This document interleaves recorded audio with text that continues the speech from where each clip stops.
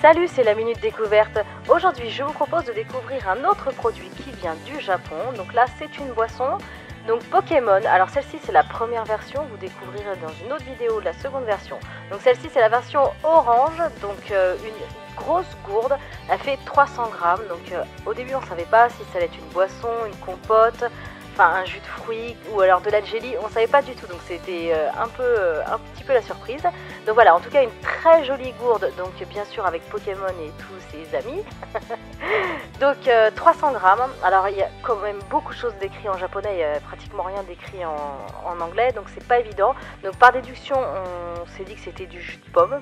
en tout cas au niveau du goût, c'est de la pomme. Sinon, au niveau de la couleur, donc elle est euh, assez claire, c'est un jaune très clair et c'est une boisson qui est très rafraîchissante, donc qui est adaptée aux enfants parce qu'elle est peu sucrée. Alors on s'attendait vraiment à quelque chose de très très chimique et en fait pas du tout. C'est un délicieux jus de pomme. Franchement, délicieux. Ça équivaut vraiment à un très bon jus de pomme en France. Euh, sinon, il y a 126 calories donc, dans cette boisson et euh, on ne peut le trouver uniquement qu'au Japon. C'est vendu que au Japon. Allez, c'était la minute découverte par Choquel. À bientôt.